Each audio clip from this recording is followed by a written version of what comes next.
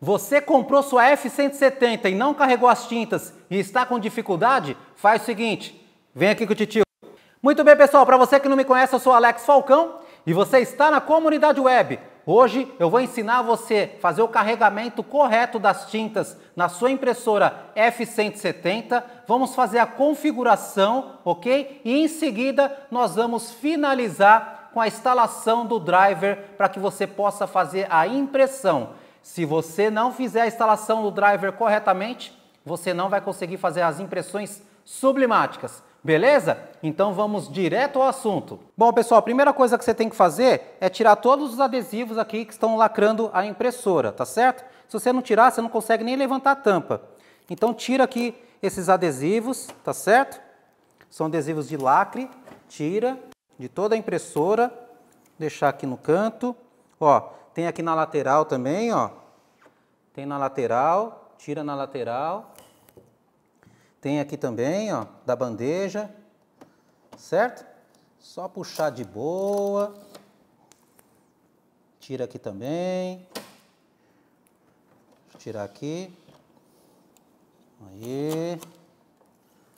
Ó, só aqui, ó, abrir a tampa, certo? Vou tirar aqui Deixa eu ver se tem mais algum. Vou abrir aqui a tampa. E tem segurando o carrinho aqui também, ó. Tem uma aqui na lateral que está segurando o carrinho. Ok? Tira aqui. Olha, eu como costumo guardar tudo, guarda essa, essas etiquetas adesivas aqui, ó. Tem como você guardar, ok? Põe em cima de um plástico assim, ó. Porque se futuramente você precisar de uma, usar a garantia, você consegue travar ela todinha, tá? Mostra que você tem cuidado com a sua impressora. Bom, já tirei tudo, deixa eu só verificar. Deixa eu baixar aqui a tampa. Ó, tem aqui atrás também.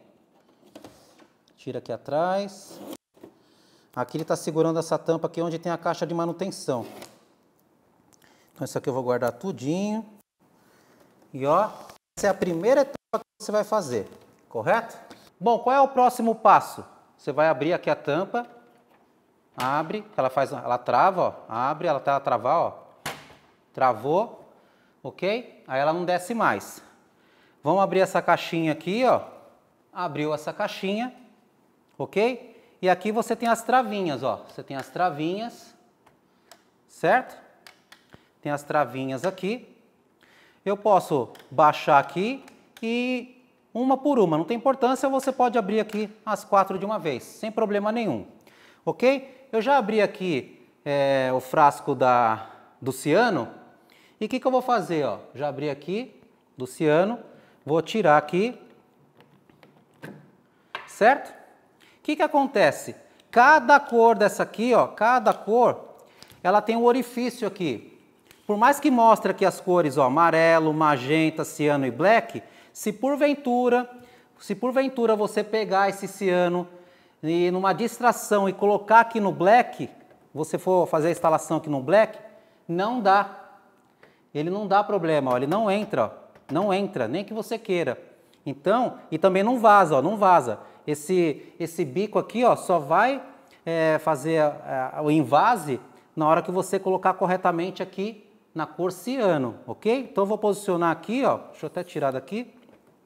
Deixa eu só acertar aqui. Colocou na posição certa, ó, aqui está errado. Aí eu vou acertar, ele vai entrar certinho. Peraí, isso.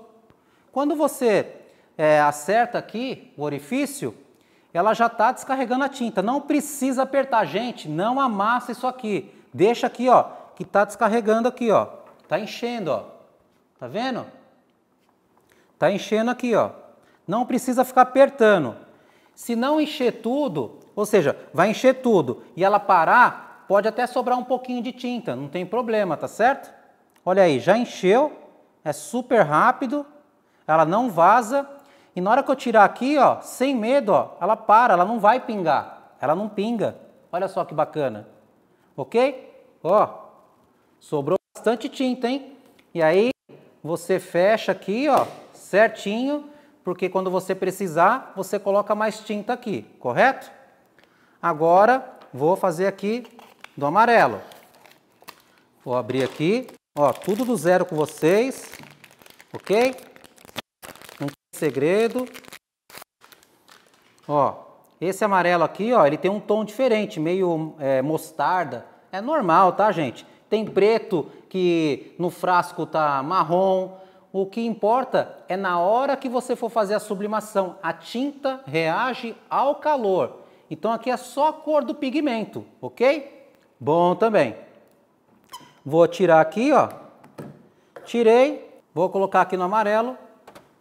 Coloquei. Já está abastecendo aqui, ó.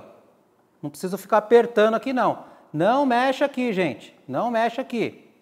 Se porventura você comprar as tintas originais e ela estiver amassada, não tem problema, gente. Tá? Pode colocar aqui que não vai ter problema nenhum. Ó, tá enchendo e vai sobrar tinta. Lembrando, a cor do pigmento não tem nada a ver com relação à sublimação. Aqui é a cor do pigmento, como eu disse. Tem tinta preta que você vê no frasco, tá marrom. Tem gente que reclama pra gente, ah, mas o marrom não sei o que. Gente, é só o pigmento. Vamos buscar conhecimento, hein? Ok? Olha aí, olha aí, ó, sobrou tinta, soltei aqui, ó, não pinga mais nada, nem se eu apertar aqui. Muito bem, vou fechar e já vou fazer aqui do próximo, magenta. Vou fazer mais rápido agora, hein? Bem interessante isso aqui, né, gente? É a prova de erros. Se eles fizeram isso aqui é porque muita gente estava fazendo errado, né? Por distração estava colocando no local errado. Então eu vou lá, vou colocar o magenta. Olha o magenta, ó. Parece um vinho. Parece um vinho. Tá vendo só? É, meu filho, não é fácil não, hein? O que importa é quando você for fazer a impressão no papel sublimático e aí você simplesmente sublimar, estando tudo configuradinho, vai sair as cores perfeitas está descarregando, não aperta aqui, não precisa ficar mexendo aqui nem nada, só deixar do jeito que eu estou fazendo aqui, ó. Muito simples.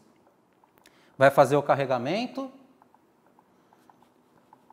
E o legal é que sobra um pouquinho de tinta ainda, né? Dá para fazer bastante impressão. Então, está finalizando aqui. E aí a gente vai para o black. Ó, você percebe que ela terminou porque está cheio aqui e ela para de fazer tipo aqui, fica fazendo glub, glub, glub. É, mais ou menos assim, ó. Glub, glub, glub, entendeu, né? Vou tirar, ó. Não, não pinga nem nada. Fecha. Não deixa exposto ao sol, ok? Ó, que eu não fechei, ó. Fecha bem, ok? Lembrando que tem é, um tempo de validade, né? Agora vou colocar o preto. Eu estava meio aberto aqui.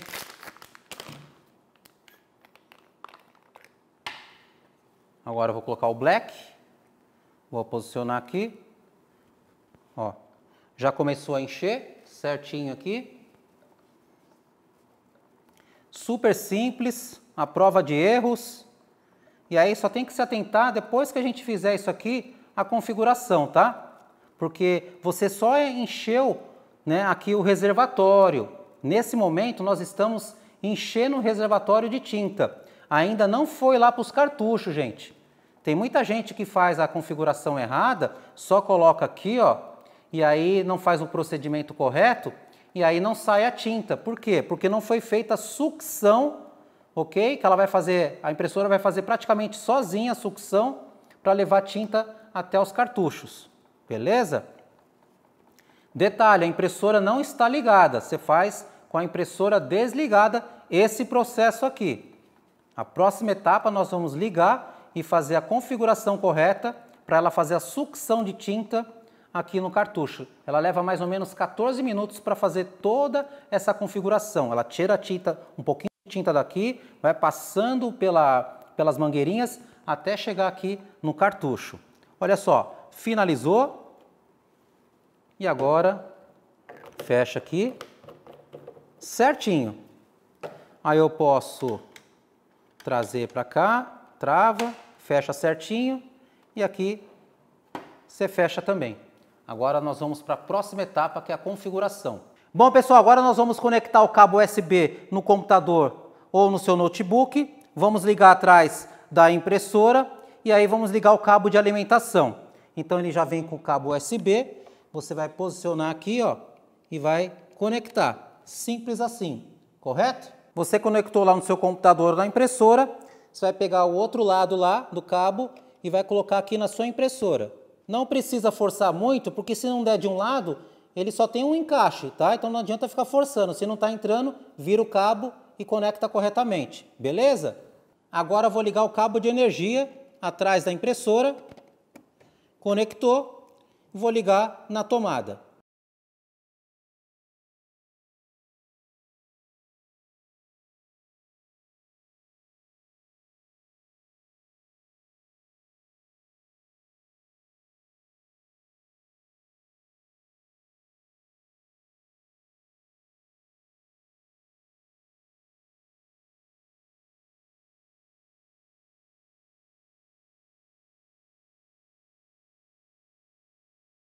Bom, pessoal, finalizou aqui a etapa da sucção, beleza? E aí ele fala na próxima tela, inicialização está concluída, continue para ajustes de impressão. Vou pressionar OK. Ajuste a impressora para garantir a qualidade de impressão. OK? Vai, vai, vai avançando.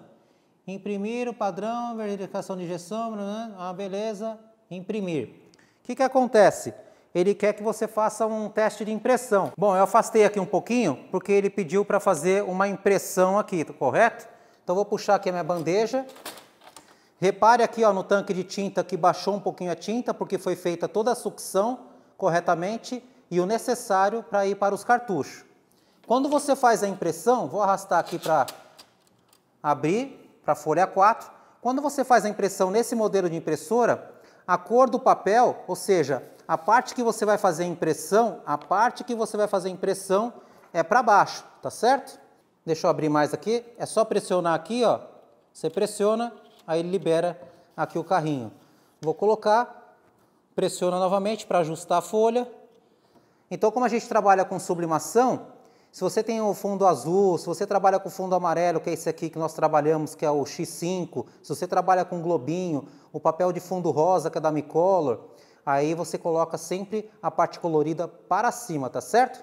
Por quê? Porque essa impressora, ela faz a impressão virando lá dentro, ó. Chega aqui, vira e cospe a folha, tá certo? Vou empurrar para cá e vou pressionar OK. Aí ele fala aqui, ó, carregue lá, tá falando para carregar, beleza? Vai fazer uma impressão. Vou puxar aqui a bandejinha preta para sair a folha. Aí que bacana. Tá saindo. Ótimo. Deixa eu ver. Não sei se vai dar para visualizar aí. Deixa eu colocar aqui. Prontinho, foi feito aí a verificação dos jatos. Puxou a tinta corretamente, fez a impressão. Tá perfeito, cara. Prontinho, impressão correta. Ele pergunta ali se está tudo certinho, se foi feito a verificação dos jatos corretamente. Então aqui está certinho, ó, do lado direito tem o lado esquerdo que está errado e o lado direito. Se tivesse errado, você ia para o lado esquerdo, beleza? Como está correto, eu vou colocar para o lado direito e vou pressionar OK. Aí ele fala ali, ó, é, ajuste a posição da impressora para corrigir desalinhamento e descontinuidade. Isso! Clique em OK. Ele está fazendo toda a configuração aqui. Gente, é tudo muito simples, ela faz automático, o importante é você ler o que está na tela, beleza? Vai fazer os últimos ajustes, ela está fazendo o alinhamento da impressão agora, correto? Foi feito o alinhamento, agora eu vou clicar em OK, ela pede para colocar o papel, já tem papel lá. Puxou a folha, já está fazendo a impressão para ver se está o alinhamento corretamente. Na tela você tem o desenho para você ver qual que está melhor. Aí você vai ver na impressão aí qual que está melhor e vai selecionar ali no painel. Vou tirar o óculos aqui porque eu estou ceguinho. Ele mostra ali ó, que tem um, o 2, o 3, o 4, o 5, o 6 e o 7. Você vai ver o que tem menos risquinho. O que tem menos risquinho aqui para mim, no meio, é o 4. Tá? Então o que, que eu vou fazer? Vou vir aqui na tela e vou ver aqui, ó, já até aparece ali, ó, o 4, senão eu colocaria aqui mais e menos, ó, mais, tem o um botãozinho aqui do mais, botão do menos, então vou colocar no 4. ele já estava no 4. Tá? Então o 4 aqui para mim está melhor. E vou pressionar OK. Aí ele aparece na tela. Carregue o papel, tamanho, beleza, já tem folha lá. Vou puxar aqui. Está fazendo a impressão do modo do alinhamento que nós escolhemos correto. Cara, vai aí uns 30 minutos para você configurar, tá? E uma hora, uma hora, uma hora e vinte, no máximo, colocando a tinta, fazendo toda a configuração. Aí ele fez mais uma impressão. Ele pede para verificar qual número está correto. vou ver aqui. Deixa eu ver. Qual que fica melhor aqui? Um, quatro, dois. Deixa eu ver. É que aparece uns risquinhos, gente. Para mim aqui o 3 está melhor. Então eu vou vir aqui no menos, ó, e colocar o 3. Vou pressionar OK. OK novamente. Prontinho, pessoal. Já finalizou toda a configuração que era necessário. Agora só falta fazer a instalação do driver. Beleza? Eu prometi fazer a instalação do driver nesse vídeo, mas vai ficar muito extenso. Então, já no próximo vídeo, você já vai assistir a configuração do driver corretamente também, do zero, beleza? E aí pessoal, gostaram do vídeo? Então deixa um curtir aí e se você ainda tiver alguma dúvida, coloca aqui nos comentários que eu vou estar visualizando tudo, beleza? E aí já fica com um assunto para um próximo vídeo. E aí não se esqueça, nós temos todos os produtos para sublimação situado em loja.comunidadeweb.com.br. Nós despachamos para todo o Brasil. E se você é de Sorocaba e região, temos uma loja em Sorocaba e vai ser um prazer receber todos vocês, beleza? E eu sempre me despeço como primeiro conhecimento, depois equipamentos. Até mais!